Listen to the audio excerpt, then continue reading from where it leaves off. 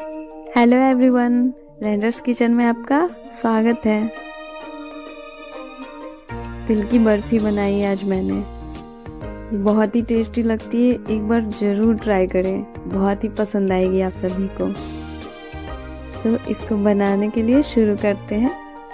सबसे पहले हम 250 ग्राम तिल लेंगे, सफ़ेद तिल, और इसको ड्राई रोस्ट करेंगे।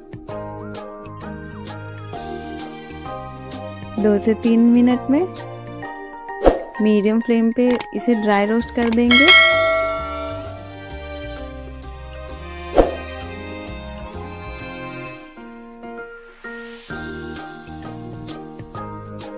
आप देख सकते हैं फ्रेंड्स, हमारी तिल रोस्ट हो चुकी है। अब हम गैस की फ्लेम को ऑफ़ कर देंगे और अब हम इसे ठंडा होने के लिए निकाल देंगे।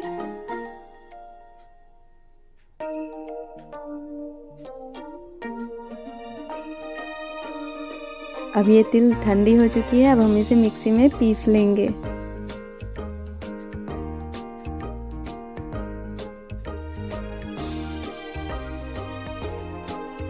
ये देखिए दरदरा ही है ज़्यादा पाउडर नहीं बनाना है इसे। अब हम उसी कढ़ाई में एक लीटर दूध गरम करेंगे और इसे कंटिन्यूसली चलाते रहेंगे। इसे गाढ़ा करना है। इसमें मैंने 200 ग्राम चीनी डाला है। आप अपने टेस्ट के अकॉर्डिंग घटाया बढ़ा सकते हैं।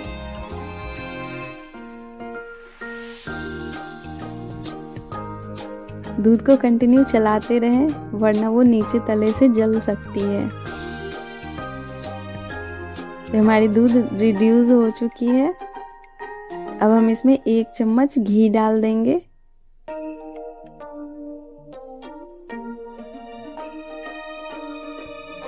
दोस्तों, सर्दियों में तिल खाना बहुत ही ज़रूरी होती है।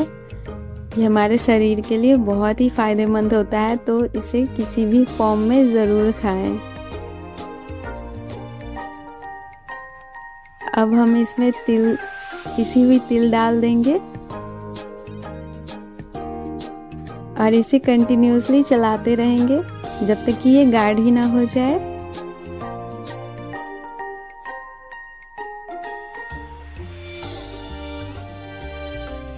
इसे अच्छे से चलाते रहें। इसमें लम्स बिल्कुल भी नहीं बढ़ने चाहिए।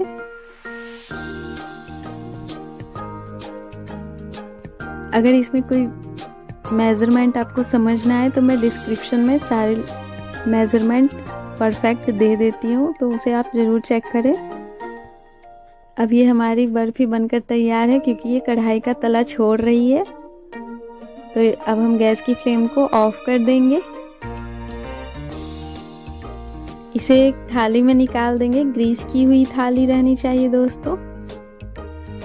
ये अच्छे से निकल जाएँगी। और इसे स्पैचुले की हेल्प से प्लेन कर लेंगे।